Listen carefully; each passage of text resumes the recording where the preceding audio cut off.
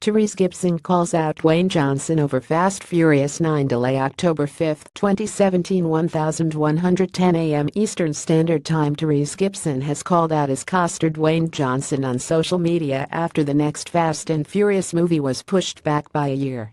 The actor, who plays Roman in the franchise, took to Instagram in August to publicly plead with Dwayne not to push forward with developing a spin-off movie about his character Hobbs as the release date for Fast 9 had been set, and they would disappoint fans if it was delayed. On Wednesday, the film team announced on Twitter that the next installment would be pushed back from 2019 to 2020, and Tyrese shared the news and slammed his co-star for putting himself before the Fast family PSA Congratulations to Ed The Rock for making the Fast and the Furious franchise about you, he wrote.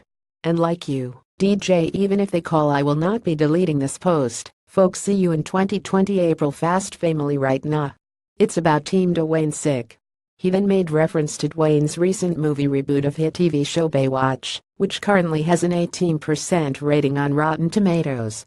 Three years will it be worth the wait? Nasha just Hobbs. Will this be another Baywatch? Guys guys just relax. I'm just a passionate film critic, he joked, hinting that the Hobbs character will be completely solo in the spin-off, despite having fun chemistry with Jason Statham's Deckard Shaw.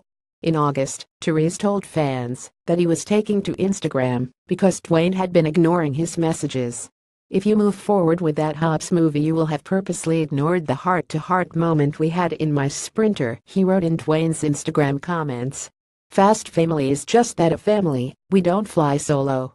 I have never, and will never have a problem with this major movie star he's my brother, he added on his own page.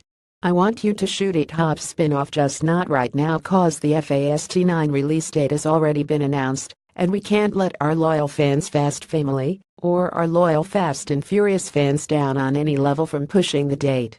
Fast and Furious 9, which is set to star Vin Diesel, Michelle Rodriguez, and Ludacris, will now be released on 10 April 2020.